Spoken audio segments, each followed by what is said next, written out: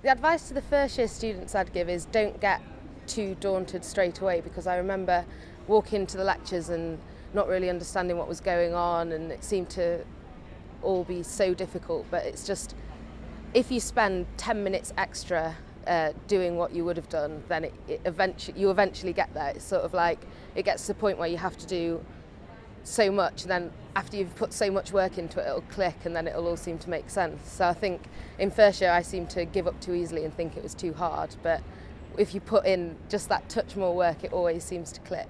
A lot of the advice was kind of don't be overwhelmed because doing a maths degree can be quite overwhelming. Um, coming here and having a lot of stuff that you haven't seen before, even though you have done very well at A levels or higher. So it's just really not to be overwhelmed and to kind of take the support that's there and given to you. Um, so I think the main skill I've got from this degree is determination.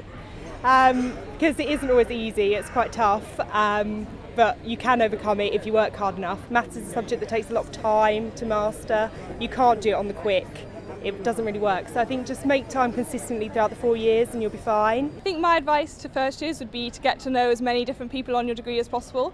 Um, because when I was in first year, I got my group of friends and we were all really close.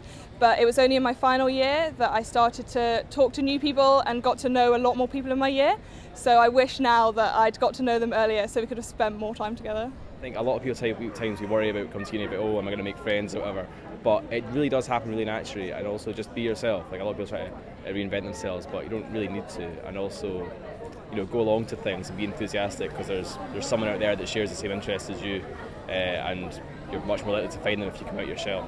So I was lucky enough to um, to be the president of the Math Society in my fourth year and um, we uh, arranged some great social nights out for instance the math ball at the end of the fourth year um, had a great time um, but in particular we had a, a math pub crawl at start of Freshers Week and uh, maybe had 120 people turn up. I've really enjoyed the kind of community, like being a math student, there's quite a lot of students and it's one of those courses where you really need to work with your peers to succeed. So um, I've been involved with many of the kind of PS schemes that's been happening, so I've really enjoyed it. Ask people, yeah. talk to people.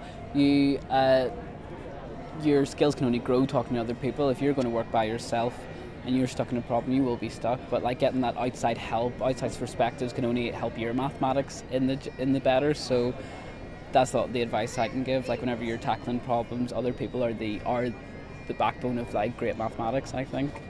Yeah, I have to agree. Like I didn't really ask for help until third, fourth year, and then found third and fourth year so much easier just because there was a, a massive network of students who were working together to solve each other's problems and solve them together and I found that really helpful. That's the only reason I, I got my degree, basically.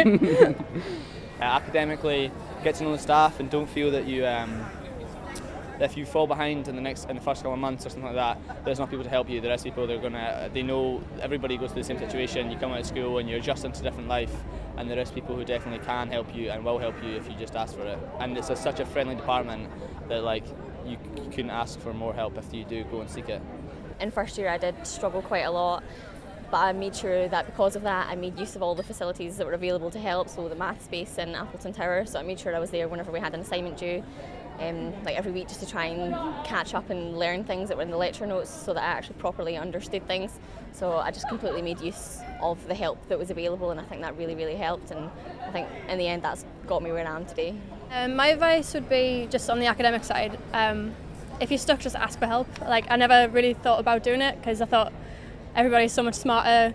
Um, probably shouldn't be asking for help because it's really obvious. But just just ask because the more you talk to people the more you're going to learn and that's how you get the better results is when you work with other people. This academic year i've been involved with a um, new scheme across the school of maths which is um, peer support. So it's third and fourth year students who are helping the first years um, get more uh, climatized to the kind of university um, situation. So how to kind of best prepare themselves for like a mathematics degree course because as fourth year students we you know kind of best. Just had great times and uh, especially in the maths common room, you know, in the maths hub, you can just sit there and just have the crack and just chat to people all day long and even if you can be bothered, do some maths. If you don't want to do some maths, it's cool, you can just be there and just chat to your friends.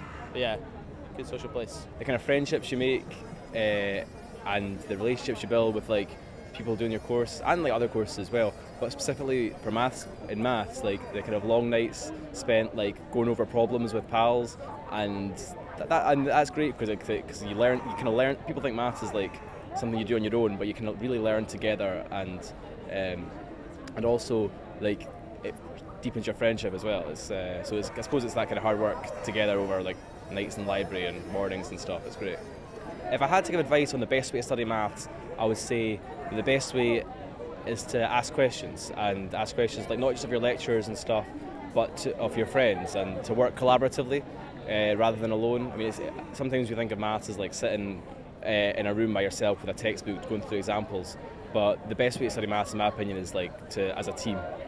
I look back now and I, I think that I worked really hard in first year, but the work that I did, I think was almost it, I didn't work as sensibly or as efficiently as I as I did in fourth year. So I'd spend time sort of rewriting my lectures and not learning it, but not necessarily learning as much, but aimlessly rewriting because I thought, oh, well, this you work on your own now. This is the sort of thing that you should do.